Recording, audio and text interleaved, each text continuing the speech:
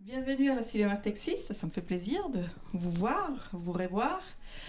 Alors, euh, euh, bah, c'est jeudi, donc euh, la tradition veut qu'une fois par mois, on présente deux films dans le cadre de cette ligne de programmation qui s'appelle les Jeudis du Doc. Mais ce soir en particulier, en fait, on reprend un peu le discours qu'on a entamé déjà il y a longtemps, déjà des années sur cinéma et art. C'est en fait, on avait proposé ces dernières années surtout un lien avec la construction du nouveau pôle muséal, avec la plateforme, justement euh, une, programmation qui montrait non seulement des portraits euh, d'artistes, mais aussi euh, des films, des cinéastes qui réfléchissent à comment représenter les œuvres d'art et, le monde de l'art en général au cinéma. Euh, l'année passée, euh, on a célébré, enfin, on a célébré, on a essayé de célébrer les 120 ans euh, de, la, de la naissance de Alberto Giacometti. On avait prévu de, de faire cette double projection parce qu'il faut dire que les bons documentaires, films sur Giacometti sont assez rares, en fait. Donc, on avait envie de, de, de, créer, de proposer une soirée spéciale. Ben, malheureusement, on a dû reprogrammer plusieurs fois. Ça y est, on, y est enfin, même si avec un tout petit peu de retard, et ça nous fait très plaisir parce que en plus, on a réussi à voir les deux réalisateurs ici avec nous ce soir, malgré les contraintes et les difficultés. Ils sont venus de France. Et à côté de moi, il y a Michel Vanzel, qui est une vieille connaissance de la cinémathèque suisse, un grand euh, ami de Freddy Buach, qui, euh, en plus d'être critique de cinéma depuis longtemps, il a fait beaucoup de films documentaires et de portraits euh, d'artistes, dont un film qu'on a, on peut dire, coproduit d'une certaine manière ensemble comme, comme cinémathèque à Freddy Buach. Et donc, dans les années en 2000, en fait, il avait Bonsoir.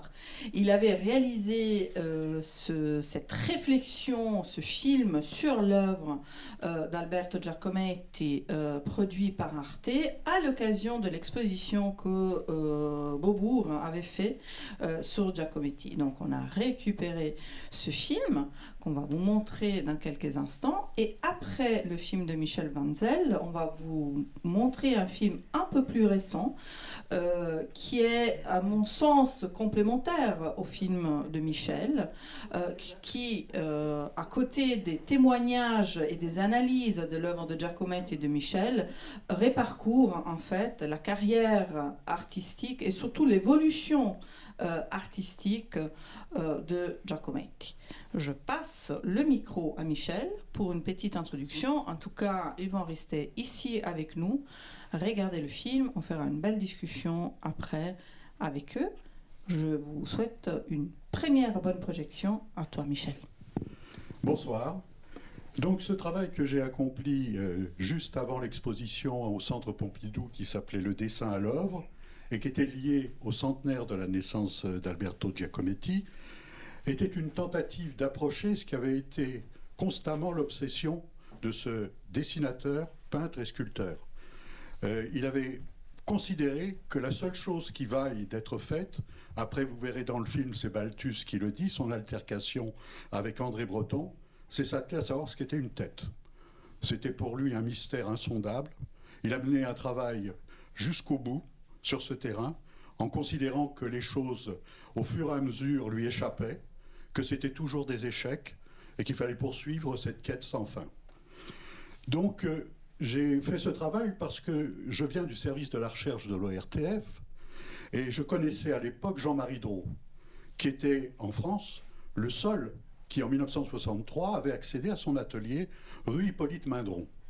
Et on parlait souvent avec Jean-Marie Drault de ce personnage que je ne connaissais pas, mais que par la suite, c'est effectivement Freddy Boache m'a fait découvrir à sa façon, puisque quand euh, il a commencé à mettre sur pied la cinémathèque, il avait un grand ami qui s'appelait François Lachenal, que certains parmi vous connaissent peut-être, qui avait pendant l'occupation créé une revue qui s'appelait Trait et qui faisait le passage clandestin des revues clandestines françaises, qui étaient en l'occurrence René Tavernier avec Confluence et Pierre Segers avec Poésie. Donc Freddy m'a dit, moi j'ai rencontré Alberto Giacometti, C'est un personnage extraordinaire. Il faudrait que tu vois tous ceux qui autour de lui sont encore présents, sont encore vivants pour pouvoir en parler. Mon souci, effectivement, pour tous les documentaires que je pratique, et peut-être même avec le dernier qui s'appelait Les aventures de l'histoire du soldat, c'est de travailler avec des témoins de première main. Donc, vous allez voir des gens, malheureusement, et c'est presque comme si on assistait à une liste de, défunts successifs. La dernière en date, c'est Sabine Weiss, qui est morte il y a dix jours, puis Jean Starobinski, puis Roger Montandon, puis Balthus, puis Jean Lémarie, et Ernst Sedeguer aussi. Donc c'est toujours troublant de travailler, de faire un film avec ceux qui ont prêté leur tête à Alberto, qui l'ont très bien connu, qui sont capables de restituer ce qu'a été effectivement sa recherche de bout en bout, et en même temps, ils sont plus là.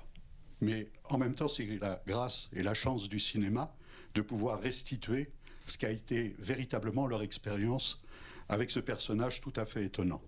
Le seul qui est encore parmi nous, qui est un grand ami, c'est Ernest Pignon Ernest, qui effectivement prolonge d'une certaine manière, vous verrez dans le documentaire, ce travail sur le dessin. Parce qu'en réalité, pour Alberto Giacometti, tout démarrait du dessin. Le dessin, la peinture, la sculpture, c'était avant tout d'essayer de trouver dans le trait la vie et de faire surgir ce qui était essentiel pour lui, la seule chose qui ne lui semblait pas morte, le regard. Donc c'est vrai que c'est assez instructif pour vous de voir ce premier film qui parle du centenaire de Giacometti et du second qui s'appelle Sculpteur du regard, qui parle des 50, du cinquantenaire de sa mort en 66. Mort le 11 janvier, donc nous sommes dans les eaux de cette période un peu bizarre où peut-être les fantômes apparaissent grâce au cinéma. Bonne projection. Voilà, euh, donc cette tentative d'approche euh, de l'univers d'Alberto Giacometti euh, était effectivement au départ une conception qui devait être un peu délicate à, appréhender. Et en même temps, mes interlocuteurs étaient des interlocuteurs de choix.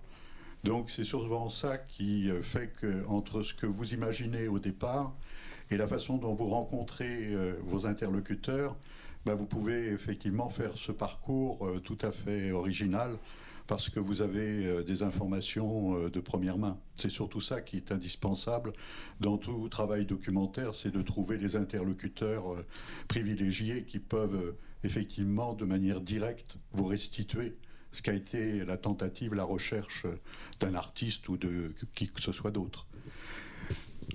Alors je ne sais pas, je ne voudrais pas vous prendre à chaud comme ça pour vous demander. Non, moi j'ai quand même une question justement par rapport à, si je peux me permettre, Vas-y, tu par rapport à ces témoignages assez extraordinaires. Euh, est-ce que c'était simple de, les obtenir quand tu, tu, as fait ton choix et tu les as approchés? Est-ce que tout le monde a joué le jeu? Euh, ou, c'était quand même, euh, il a fallu faire un travail à un moment? Pour euh, les approcher et les convaincre à participer à ton projet Alors, euh, ça dépend de la façon dont vous pouvez, comme interlocuteur, vous adresser autant à Jacques Dupin qu'à Starobinski, qu'à Balthus. C'est pour ça que je te pose la question. Mais ces gens-là, effectivement, sont ouverts. Euh, si vous êtes vous-même bien assuré de la façon dont vous allez appréhender votre sujet, il euh, n'y a pas d'objection, on est toujours un peu anxieux de se dire comment vont réagir euh, ces personnalités qui ont effectivement un poids important. Euh, je crois que c'est d'oser leur soumettre l'idée et eux-mêmes constatent si vous êtes dans une sorte de vérité. toute la vérité n'est pas encore ici démontrée, mais si vous avez effectivement mis le doigt sur un aspect euh, qui était jusqu'à présent peu abordé sur ce terrain-là. Et c'est vrai que quand j'ai pris les uns et les autres et que je leur ai dit mon axe, puisque je choisis en général dans un documentaire toujours un axe particulier, et que j'ai dit que c'était la question de la tête qui allait être de bout en bout la véritable interrogation sur le travail accompli par Alberto Giacometti, ils avaient vu que j'avais mis le doigt sur la chose la plus importante.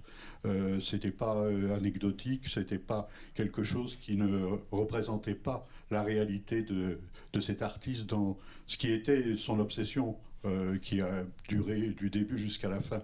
Vous avez à côté de euh, Jacques Dupin sur la petite étagère à droite, en haut, vu cette petite sculpture. C'est celle qui. têtes, hein Oui, il y a, deux une noire et une blanche. Voilà, la blanche, c'est celle qu'il a réalisée à 13 ans de son frère Diego.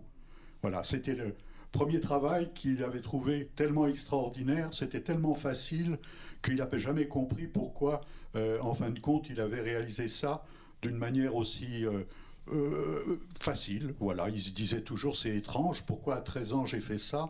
Et après, il a remis en cause cette idée-là, justement parce que c'était trop facile et qu'il se disait qu'à 13 ans on peut faire ça, mais qu'il vaut mieux aller chercher ailleurs pour ne pas faire quelque chose qui devienne conventionnel ou qui soit effectivement considéré comme une expérience qui ne relève pas d'une quête et d'une recherche autre que cette sculpture un peu classique d'une certaine façon. Mais le rôle de Diego est quand même indispensable. On a toujours un peu minimisé le travail accompli. C'est qu'il avait sur Diego, euh, Diego avait sur euh, Alberto euh, un rôle de fascination. Euh, il y a une œuvre qu'il a réalisée bien après que ce se soit déroulé. Il y a eu un événement à 5 ans où Diego participait aux, travaux des champs, hein, c'était les moissons, et on devait mettre les bottes de foin dans un système de poulie spécial pour entraîner les gerbes, le grain. Et à un moment, Diego a considéré à 5 ans qu'il pouvait mettre sa main dans l'engrenage et les doigts y sont passés. Il a perdu deux doigts, hein, c'est ça À cette occasion. Et il n'en a jamais parlé, il n'a jamais dit que c'était quelque chose euh, qui euh, lui avait semblé être un exploit. Et Alberto était fasciné par cette capacité qu'avait Diego d'avoir affronté un événement de cette nature et de ne s'être jamais plaint. Et quand il a réalisé, euh, donc après l'œuvre, c'est comme il l'a fait pour la jambe et pour beaucoup d'autres œuvres, c'était presque 15 ans après, véritablement, c'était comme s'il indiquait que Diego était pour lui quelqu'un qui avait accompli un exploit que lui n'était pas capable d'accomplir. Et on sait bien que dès 1928, quand euh, Diego l'a rejoint et travaillé pour lui, beaucoup d'œuvres ont été faites même de bout en bout de la main de Diego. Il y a des œuvres surréalistes qui n'appartiennent qu'à Diego. Il y a cette fameuse sculpture qui est à hier, au château Bernard, chez la vicomtesse de Noailles. C'est Diego c'est pas Alberto. Alberto a donné les idées, a demandé à Diego après de s'atteler à la tâche. Et les 35 ans de travaux qui ont été menés par Diego, entre à la fois le travail qui est indiqué par les uns et les autres, euh, depuis euh, l'armature jusqu'à la patine, jusqu'à l'œuvre définitive en bronze, il faisait ce travail-là et en même temps il posait pour Alberto. Et je crois qu'on n'a pas euh, considéré suffisamment parce qu'après, quand Diego a été connu par rapport à ses travaux de sculpture, de mobilier, euh, de ce monde bestiaire extraordinaire, euh, on, a toujours dit que Diego avait effectivement un travail qui était moins intéressant, moins percutant que son frère. Mais une bonne partie de l'œuvre de son frère est sortie des mains de Diego, pour une bonne part. Et ce que dit très bien Dupin et ce que disent certains autres sur le rôle euh, qu'il a joué. Euh, pardon, euh, donc on verra tout à l'heure aussi dans le film de Charles, je ne sais pas s'il est là, après je te passe la parole, oui voilà, il est là.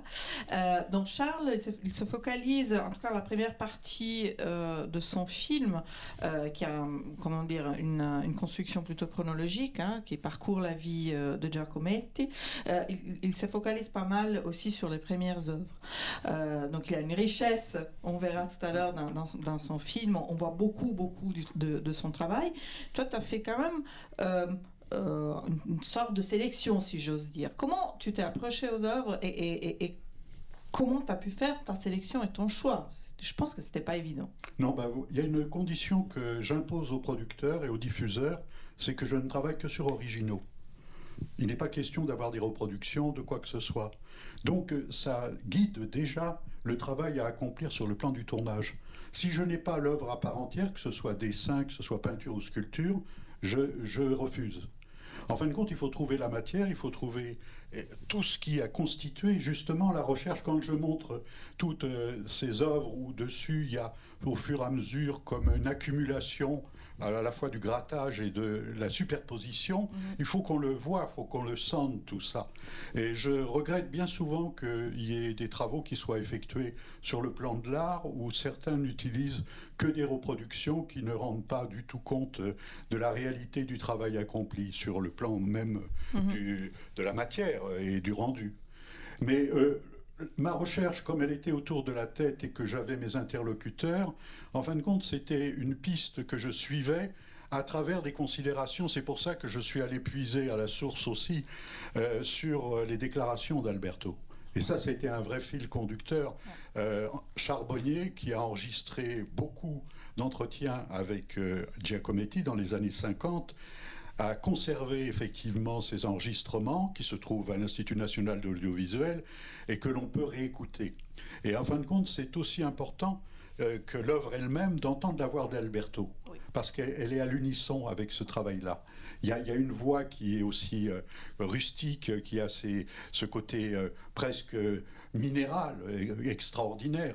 C'est une voix qui est argumentaire tout à la fois. Ce que décrit euh, très bien euh, Starobinski quand il dit cette voix rock et, qui ponctue effectivement ce langage qui est très personnel.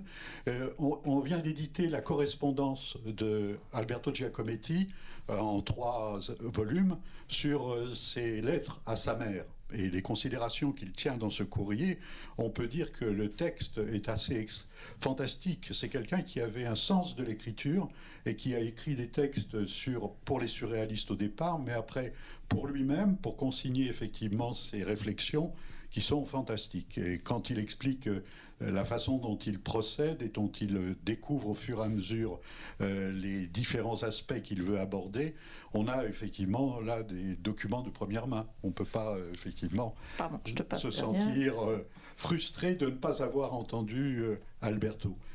J'aurais mis le masque parce que je passe le micro à Roland Cosandé qui aimerait te poser une question. C'est important de parler dans le micro parce qu'il y a la caméra. J'aimerais vous poser une question sur ce que j'appellerais la, concertation et la mise en scène, parce que on voit bien que vos interlocuteurs se sont placés dans des endroits différents, des endroits réels et des endroits que j'appellerais artificiels, parce qu'on ne sait pas très bien où est Dupin, par exemple, et il n'est mmh. certainement pas chez lui, parce qu'il n'a pas l'original à côté de lui dans sa maison. Euh, ça, c'est la, première observation sur ce que j'appellerais la scénographie, mais aussi euh, ce que j'appellerais le scénario, puisqu'au fond, vous leur faites dire un certain nombre de choses que ces personnes peuvent très très bien répéter, sauf peut-être les personnes plus âgées qui ont des problèmes de mémoire. On voit bien Balthus hésite beaucoup, d'une certaine façon, mais les autres sont tous des gens de parole. Et on peut lui faire répéter 50 fois les choses, il les dira de façon tout aussi intelligente la première que la 49e fois. Maintenant, euh, tout est organisé sur euh, le rapport que vous faites à leur visage. Et au moment où ils vont parler, euh, vous vous approchez, vous vous, vous, vous êtes approché d'une certaine façon de leur visage. Comment se fait, comment s'est fabriqué le synchronisme entre ce que vous vouliez qu'ils disent et que vous aviez très certainement préparé avant et le moment où euh, vous êtes prêt à nous les faire entendre? Alors dans les dispositifs scéniques euh, en général, vous avez votre interlocuteur que vous connaissez parfaitement. Vous l'avez vu et revu, il y a un travail de deux années préparatoires avant le tournage lui-même. Donc euh, à la fois des repérages, à la fois des rencontres, des conversations. Et comme j'avais euh, un leitmotiv que je voulais utiliser, c'était le regard, c'était de prendre effectivement ce qui préoccupait Alberto, puisqu'on s'aperçoit que la façon dont il démarre un tableau, un dessin ou une sculpture, c'est toujours à partir de la racine du nez. Et lui-même le dit. Si on pouvait, en obtenant la racine du nez, avoir l'arcade sourcilière, avoir le tour de l'œil, on aurait effectivement le regard. Et c'était ça qu'il essayait de détecter au fur et à mesure qu'il progressait. Mais il n'est pas le seul artiste à avoir un point focal de départ. J'ai fait un film sur le Caravage, et avec euh, des gens qui ont très très bien analysé l'œuvre du Caravage, on peut détecter dans tous ces tableaux, le départ était l'oreille. Le Caravage démarrait, comme il avait des personnages qui existait, qui était en pied, qu'il mettait en fond sur un décor euh, qui était effectivement neutre. Il démarrait toujours ses tableaux à partir de l'oreille. Donc pour Alberto, cette racine du nez et cette façon de concentrer l'attention sur cet aspect dans les interlocuteurs, qui étaient aussi ses modèles pour une bonne part, pas tous, mais euh, la plupart. Euh, donc je recherchais ce qu'avait été le point de gravitation, la façon dont l'œil d'Alberto essayait de détecter ce qu'il y avait de plus vivant dans les êtres. Euh, il dit à Charbonnier en 51, j'ai essayé de dessiner une jeune fille, et je me suis aperçu qu'au fur et à mesure, tout n'était que le crâne, il n'y avait rien, il n'y avait pas de vie mais il y avait dans l'œil quelque chose qui était la seule chose importante et essentielle, ce regard qui était le signe de vie. Et en fin de compte, euh, ce que disent les uns et les autres, c'est qu'il avait même, dans l'expérience qu'il a faite au Louvre avec le scribe accroupi, même si on mettait des yeux de verre, qui sont les plus proches de la représentation presque euh, naturelle de l'œil, il considérait que les œuvres des nouvelles hébrides, faites avec un coquillage, avait un regard beaucoup plus vivant, beaucoup plus juste que des choses qui étaient extrêmement réalistes. Alors je pense que j'ai essayé, moi, de transposer cette idée-là et d'essayer de la faire sentir au fur et à mesure que je progressais dans mes entretiens et dans les liens que je tissais entre les uns et les autres. En fin de compte, c'est comme une espèce de, thème, euh, d'une variation avec euh, une idée euh, effectivement que je développais au fur et à mesure auprès des uns et des autres. Michel, on m'a fait signe qu'il va falloir bientôt clore cette première partie. On a encore une dernière question? Une dernière question. Est-ce qu'il y a une dernière question de votre part? Il me semblait d'avoir vu une main levée tout à l'heure. J'ai rêvé de ça. Ok, alors on va arrêter. Euh, ce que je, peux signaler, c'est que si vous avez envie de revoir ce film, il est édité par Arte Vidéo. Bien sûr. Et il est accompagné du film euh, de Jean-Marie Drault, tourné euh, Un homme parmi les hommes en 63. Jean-Marie Drault a souhaité effectivement être dans cette édition avec ce film. Et c'était un des premiers, euh, films euh, documentaires sur, sur, Giacometti. Merci beaucoup Michel, mais tu restes là, donc après on va montrer le film de Charles de Lertig et on va quand même continuer cette, cette discussion. Comme je disais, pour moi c'était important de montrer les deux films qui se, qui se complètent. Euh, dans le film de Charles en particulier, euh, il y a vraiment la, volonté de, raconter l'histoire et euh, la vie en fait de, Giacometti. On il a beaucoup travaillé sur ses origines, le rapport non seulement avec, avec sa mère, mais aussi avec son père qui était peintre, hein, je, le rappelle, donc c'était vraiment une famille euh, d'artistes, les mecs, hein, les hommes. Euh, donc voilà, je vous invite après une petite pause à rester pour voir la deuxième partie, enfin ce deuxième film, et puis continuer à la fin de la projection cette discussion. Merci Michel et tout tout, tout de suite. Merci.